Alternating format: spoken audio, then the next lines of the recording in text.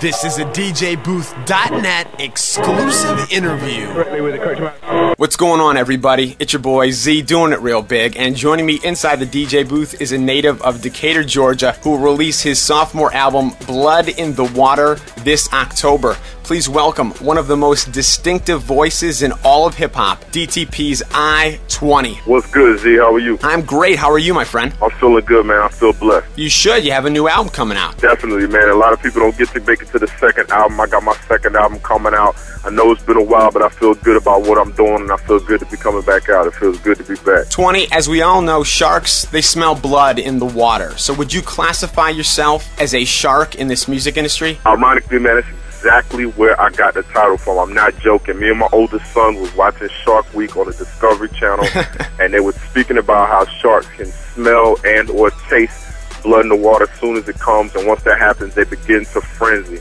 So I made it a metaphor for the fact that with my initial album and rapping with Ludacris and Disturbing the Peace, I got a taste of what it's like to be in the music industry, what individual success can be like, and now I'm just prepared for my second album to be a much better artist and give my fans and audience much better music. And, uh, you know, it's blood in the water. I'm ready to frenzy. You are now the second rapper to tell me that they watch the Discovery Channel. I spoke with Sheek Louch last year, and he said he can't get enough of it. Sheek Louch is a good friend of mine. Hey, let me tell you something right now. There's no shame in watching the Discovery Channel. It is both entertaining and educating. So I'm telling everybody out there, Discovery Channel is the way to go. I'm going to try and put a couple of videos up on the Discovery Channel, see if that can work. Especially in HD. It looks amazing in it HD. Amazing at HD, especially Shark Week. I'm, I'm, not gonna lie, I'm addicted to Shark. There we go, an exclusive. You just let the whole world know, and I'm proud of you for it.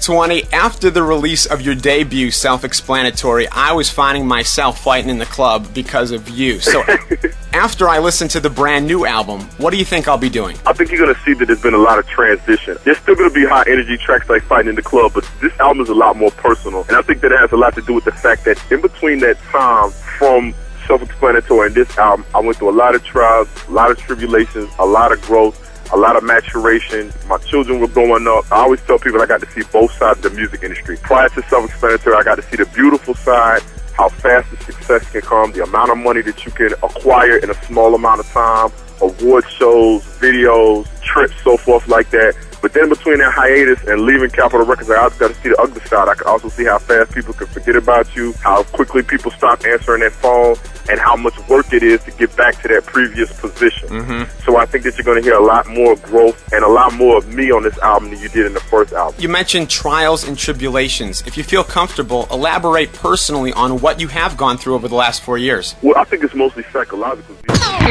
To check out the rest of this exclusive DJ Booth interview, as well as brand new songs, weekly charts, reviews, and much more, log on now www.djbooth.net.